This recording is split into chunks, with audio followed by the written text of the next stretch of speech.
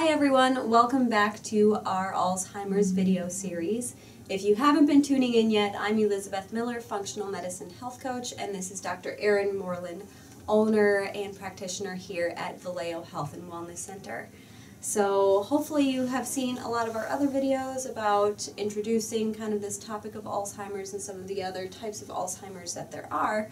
Today we are going to be covering traumatic Alzheimer's.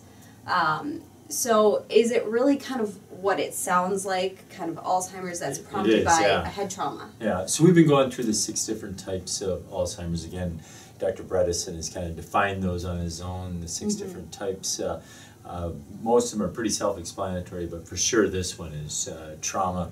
It's what we think of. Uh, people, uh, we're hearing a lot in the news recently, especially with sports.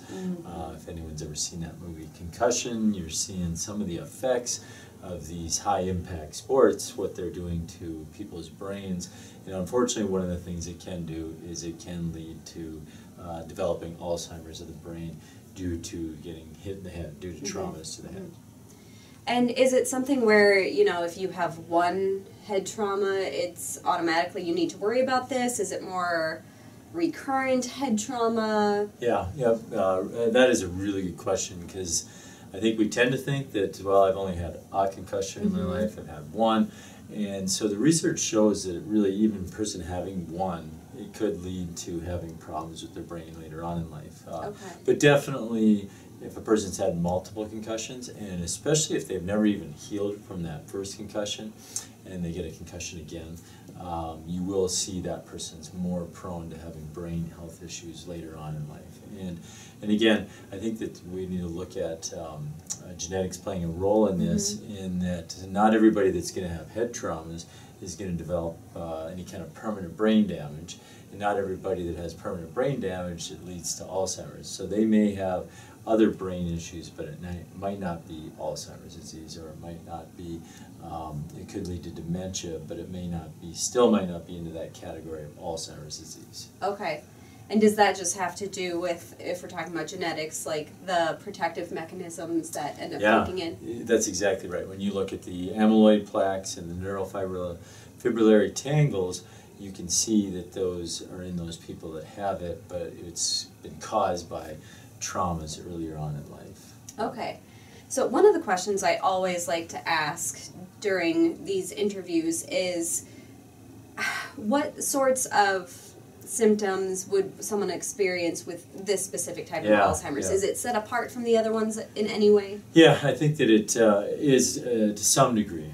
Um, some of the demographics you'll see again is you'll tend to see um, earlier on in life because of the, the traumas accelerate that degenerative process in the brain. Okay. And in this one, you're probably going to see it more in men than in women. And again, I think we talked about this in a previous video, is just because men seem to be involved in more sports where they can Right, get uh, right. uh, traumas or lifestyle issues that they may have. And so you will see it more in men. And you may start to see some of the aggressive, more of the aggressive behavior, like we talked about in someone dealing with, with toxins, but that may not be the case either. And, uh, and if a person's dealing with head traumas and they're fairly aggressive, it may not mean that they're Alzheimer's. It may be that they have other brain issues going on, but it's not um, Alzheimer's disease. Okay. So what would you have to do to really figure out whether it's some other sort of brain issue or it's Alzheimer's? Yeah, yep. So good question. So again, when you're looking at trying to determine if someone has um, amyloid plaques or those neurofibrillary tangles, um, there are uh, studies that a person could do. There are lab tests you can do. They're starting to do uh, tests where they're looking at people's cerebrospinal fluid. Uh, Okay. and so you can see it. Uh, used to be really you'd have to wait until that person passed away to determine what was the cause of that. And then that's Yeah. not very No, helpful for yeah, them. it's not, and it can be helpful for somebody later, um, like uh, from the research, but Right. uh, definitely not for them personally. But now we're seeing easier ways to um, determine whether people have that. So really, you would have to be through lab testing to determine, because again, it could be that they have dementia, and it could be Mhm. from uh, traumas, but it may not be that they, they develop those um, um, those protective mechanisms. Okay. And I know that with a lot of the other types of Alzheimer's, we've really talked about how diet and lifestyle can kind of help prevent that or decrease the risk of it showing up later on in life. But with trauma, you know, what what can we do Yeah, there? and I think that the key there, and this is absolutely critical, is that people that have concussions, that they go get help for them. Mhm. Because um, there's a lot of people, um, my day and age, that um, you know, you your bell rung, and it was, hey, just you know, walk it off. There was Mhm. nothing really done. And then more recently, what we've seen is that they recognize, hey, you got a concussion, but it's really the way that they approach it is, hey, go into a quiet, dark room, avoid Right. technology, Right. which is good, but that's not the, the be all to end all. You really It's have to, yeah. There's there's nutritional things. You got to get uh, inflammation down. Uh, when a person hits their head, it activates uh, cells in the brain called glial cells. Well, those cells can be activated for six months to a year after a concussion. Oh, so the person could be walking around feeling just fine, and then all of a sudden they do something that's pretty minor, like bump their head against Mhm. something, and all of a sudden they get concussion um, type of uh, uh, symptoms. We literally just had this patient in our office uh, uh, last week with that exact scenario. They uh, Really? they had a concussion. They had fallen off the stool.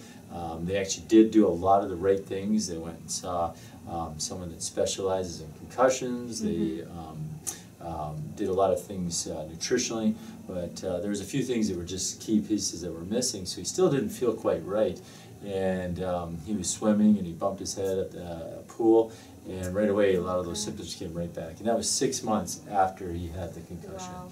So you can see how it can be um, still there, but you feel pretty good. You don't know that it's there. So, um, so we did some different cha- changes to his diet and and such, and uh, and just within a week of working with him already, he's already noticed significant improvement. He said so.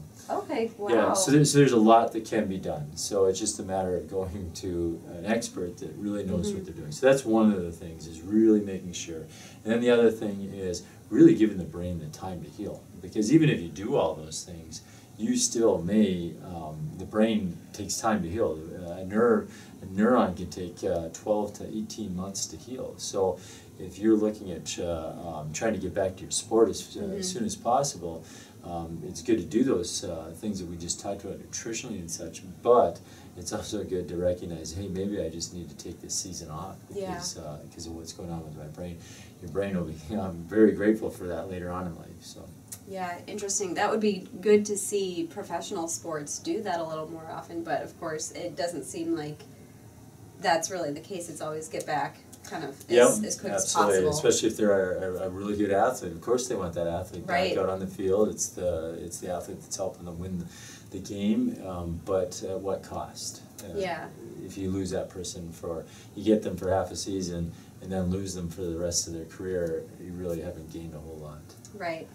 So I was going to ask if this type of Alzheimer's is more or less difficult to work with than others, but I, it sounds like there is definitely stuff that can be done, even though it's more of the trauma There and not necessarily a lifestyle and diet. Yeah, there definitely is, but again, I would look at that stuff that really needs to be done when it first happens, because I would say that when a person finally does get to that point, and they are um, um, older, they've got Mhm. um, uh, their ability to heal is is decreased.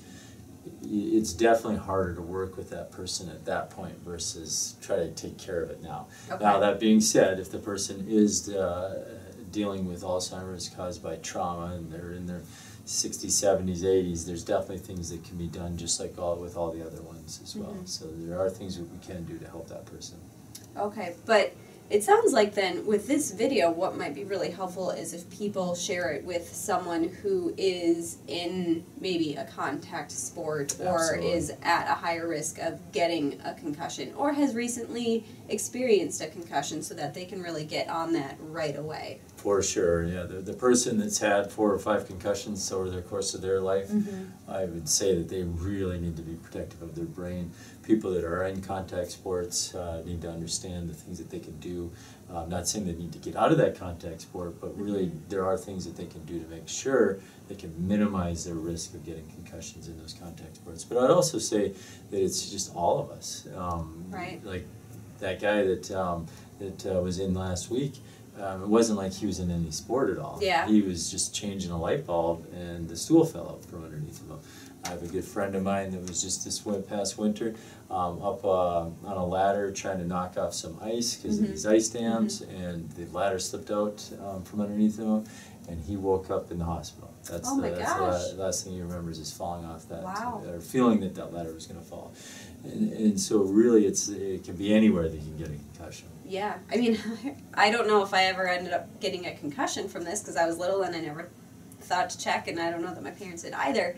But we had been playing a game and I had been laying on the floor and I went to get up, but I must have moved wrong and I totally just smashed my head against like a coffee table. Mhm, Yeah. So I don't know. It, it can be, and so the key there again is to make sure you're doing the right things for your health Mhm. overall, like we've Mhm. talked about with uh, many of the other things. Um, this way of eating, this uh, lifestyle, is so good at preventing all kinds of different Yeah. illnesses. So that's again why we just encourage people that you really have to take care of this body that we've been blessed with. And uh, not just to prevent Alzheimer's, but um, other diseases, Right. and to be able to have a long, um, healthy, um, vibrant life. Mhm. Yeah. Absolutely agreed. So those are really the main questions that I had for you today. Is there anything else that you'd like to share as we wrap things up? Yeah, I don't, I don't think so, other than, again, just to point out that, um, as you had asked that, in that one question, is how important, um, or how um, realistic is it for people to get better after they've had uh, maybe a diagnosis of Alzheimer's due to a trauma, or other reasons why they might have Alzheimer's, and uh, just to understand that there are things that can be done. Um, this whole video presentation is to help people to see that there are things that can be done to Mhm. prevent these illnesses, uh, especially um, Alzheimer's, obviously, that we've been talking about. But there are um, um, ways to slow it down. And if a person has been diagnosed, that there are things that can be done that can reverse um, Alzheimer's disease. Again, it may not be to the point where they, hey, I don't have Alzheimer's anymore. Right. But it, it could literally be just to the point where a person that couldn't dress themselves now is able to dress themselves again. And, and if you're a caregiver of someone with Alzheimer's, you know how huge that is just to have them have that ability to dress themselves Yeah. again. But uh, there's definitely people that um, that have seen significant improvement when they've already had Alzheimer's. So there is hope, and that's Yeah. uh, again why we're creating these videos is to help people see that there is hope. There are things that can be done for Alzheimer's disease. Well, awesome. Thank you so much for sharing. I'm sure that everyone is really excited about all of this information that's coming out there and showing that yeah, there is hope for Absolutely. for this. So, if you guys haven't seen the other videos, go ahead and check them out. They should all be listed in our videos.